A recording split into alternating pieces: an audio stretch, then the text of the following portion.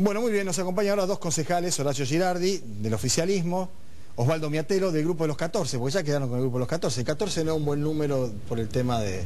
Pero bueno, es lo que dio, es lo que hay. Grupo de pero, resistencia. Pero parte, si yo no me imagino que vayan a estar mucho tiempo juntos, si no me lo imagino a Boazo y a Monteverde juntos y alguna de esas cosas, aunque a Monteverde lo fueron corriendo ahí con esos giros giros y esos Twitter y demás, hay una, una cuestión...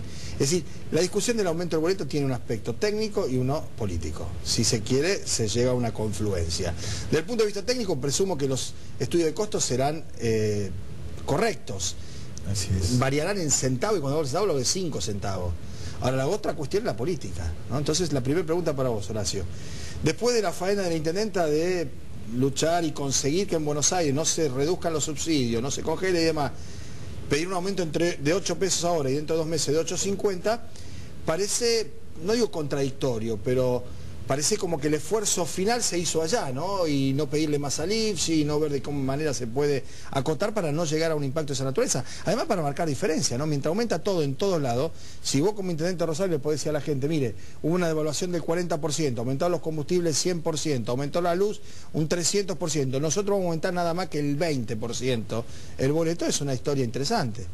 Sí, bueno, la verdad que se han hecho todos los esfuerzos, ¿no? Estamos hablando, vos recién hacías referencia, Pablo, al estudio de costos. El estudio de costos delante de la movilidad da 9,45. Ujú. ¿eh? O sea que estamos, estaríamos, un- la propuesta que nosotros hacemos y que ha tenido consenso para tener despacho en la comisión, está en, en un peso y medio al principio menos que el estudio de costo y después va a quedar casi en un peso menos. Hoy, un peso en el sistema de transporte urbano de pasajeros en Rosario en un mes es, es un millón, ¿no? Entonces es, es eh, mucho dinero eh, el que implica un pequeño corrimiento.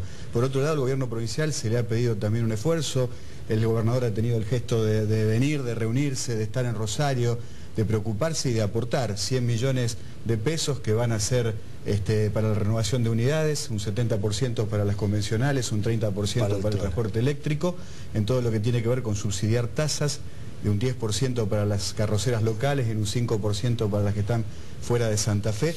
Y creo que la, la propuesta que se ha arribado mm, al consenso de 8 y 8.50 a partir de julio es un punto de equilibrio en una tarifa que intenta precisamente no impactar en el usuario de, de la forma, eh, digamos, de la, de la menor manera posible. Ahora, eh, me atrevo a ustedes obviamente lo ven con un criterio diferente, ¿no? Dejando de lado el tema de los estudios de costos, sino estando hacia el enfoque político de dónde, cómo y cuándo se tienen que aplicar esos 100 millones, si en vez de 100 podían llegar a ser 150 o 200, ¿no? Sí, yo eh, eh, también valoro lo del estudio técnico ¿no? y Sí, sí, reconozco el equipo técnico del ente de la No, movilidad yo creo como que de primera. Está fuera de discusión. no Mónica. Alvarado creo que es la- una de las funcionarias y más el, y equipo que tiene viene trabajando hace mucho tiempo, así que no, ahí no tengo ninguna duda.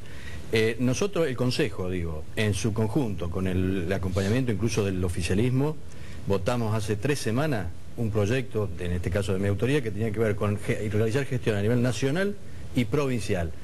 En el entendimiento de todos de que no había que aumentar el boleto o por lo menos trasladar lo menos posible. Las gestiones con el gobierno nacional fueron positivas. La verdad que uno, yo particularmente no comparto la línea política del gobierno nacional, pero cubrió todo el aumento de la paritaria de la UTA y cubrió aumento de combustible, igual que lo que venía haciendo el gobierno anterior. Bien. De manera que ahí se tuvo éxito. No se tuvo éxito con la provincia, lamentablemente, y creo que es una de las cosas que hay que seguir este, explorando. El anuncio del ISCHI de 100 millones es eh, positivo en el sentido de que tiende a Sí, renovación de no flota. nada, ahora hay 100. Claro, pero no hay, no hay 100 para bajar costos. Bien.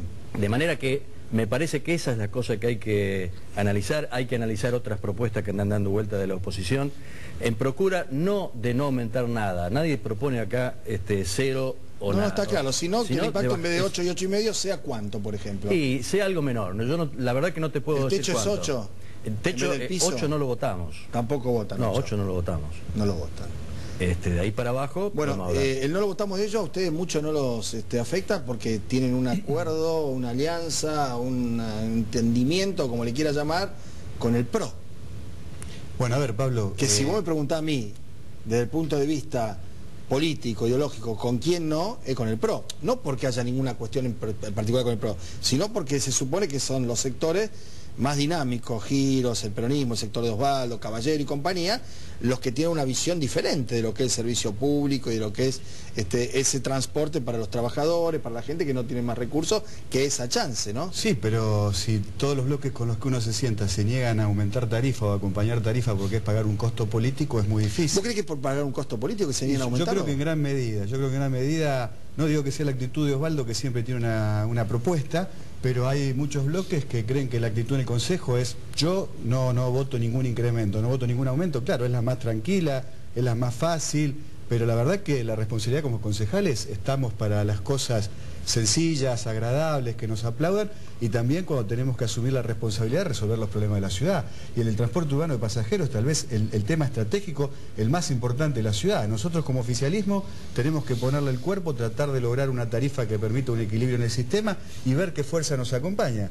En este caso, tal vez por la responsabilidad nacional que tiene, tal vez porque se dan cuenta que el proceso de devaluación e inflación tiene que ver también con políticas macroeconómicas, el PRO ha resuelto acompañar esta, esta tarifa de 8 y 8.50 en julio. Ojalá nos acompañaran todos los bloques. ¿Qué más quisiéramos como oficialismo? Yo, no, yo creo, Pablo, que, digo, plantado ya en esta situación y cada uno con su postura. Sí, porque no parece que vayan a aflojar ninguno de los dos, ¿no? Por eso, tenemos que decir, bueno, vamos a votar 7.60 ahora y 8.10 dentro de, 60 días. Tampoco parece Tenemos que, pensar cómo salimos de esta, de esta coyuntura. Yo creo que si un sector quiere eh, hacer rendir al otro, me parece que sería lo peor. Claro. Eh, creo que no conduce a nada, porque aparte esta historia es larga, porque va a haber otro aumento y otras discusiones. De modo que, creo que hay que hacer una, un esfuerzo para eh, lograr un acuerdo. Dentro del sector nuestro, obviamente, hay matices, pero hay voluntad de no quedarse en lo que está la tarifa y mejorarla. Ahora, tiene que haber voluntad del Ejecutivo Municipal y del Ejecutivo Provincial, sobre todo, de dar un gesto y acercar esa diferencia. Creo que de esa manera podríamos este jueves estar destrabando eso, estar destrabando el tema taxi, estar destrabando una serie de temas que la verdad que la ciudad no merece que siga parado y sin resolverse. Claro, ahora yo presumo, pregunto esto, ¿no? vos estás dentro de un esquema cercano al justicialismo, no, oficial, no kirchnerismo, sin, con todos los matices. Soy justicialista. Ahora el peronismo va a ser una lista única a nivel provincial, va a estar todos ahí. El peronismo tiene mayoría en el Senado como para imponerle al IFSID, o en todo caso, avanzar con un proyecto de ley que disponga que ese 3%, creo que era la ley Rubeo, pero a mí, se transforme el tema en un de la, más importante. El tema de la ley, el tema de la ley en, en barra. por ley no es opinable, Osvaldo, la ley la tiene que cumplir. si los legisladores le dicen, mire, Lipchi, usted además los 100 palitos eso que puso ahora tiene que poner 30 todos los meses y lo va a tener que poner. Pero ¿sabes qué pasa? Eso puede ser un camino. bueno, dando vueltas. Pero eso puede ser un camino, pero eso es un camino que nos conduce hasta ahora, por el ejemplo de obras menores, a nada porque los senadores del Departamento 9 de Julio, del Departamento Vera, ni, ni saben en qué se trata el transporte de Rosario y tienen problemas muchísimo más acuciantes que el transporte de Rosario. no te lo votan los Entonces lo que tienen que hacer el, el, gobernador, que aparte fue intendente y secretario de Servicios Públicos de Rosario, es una adecuación de partida y, simplemente. tiene, que ir no lo puede hacer porque tiene que ir a la legislatura. Está bien, para, saber qué, ¿sabes qué pasa? que es que todo el dinero vaya al fondo compensador, tiene que ir a la legislatura. Y después lo que se nos reclama a nivel de la intendenta. Digo, que la intendenta ponga más dinero. ¿De dónde lo saca? Que nos digan ellos dónde lo sacamos. ¿De salud? ¿De dónde? ¿Del, aumento de los trabajadores? Por ahí un gravamen a las patentes de los autos de alta gama, por ejemplo. Bueno, eso es provincial, ojalá se apruebe. Bueno, pero quiero decir, hay que mover eso, ¿no? Porque si hay que moverlo, pero yo alrededor de la misma cosa. Te insisto en esto, hay formas... El tema de los senadores le va a salir más caro si no lo pone Lipsi por su cuenta, que si tiene que arreglar a los senadores con subsidio para que voten algo para Rosario y Santa Fe. Así fue siempre en esta provincia, cuando gobernó Berné, Reviglio, Reute, Manovey, Reute, Manover, Wiener, Bonfatti, Lipschitz. Esa es la historia.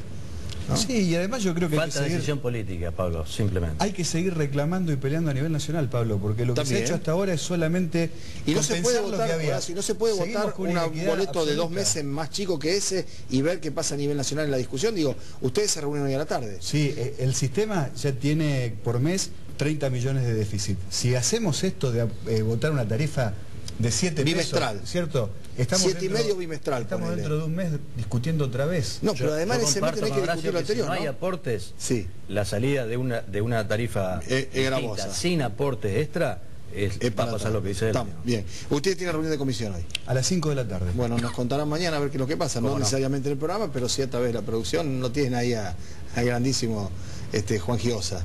No, lo conocen a Giosa, ¿no? Nuestro productor. ¿Qué tal ahí? Bien, ¿no? Bueno, no lo vamos por ahora. no, está bien, listo. Por eso no, lo ayuden más.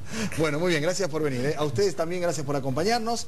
Volvemos mañana, como siempre, después de la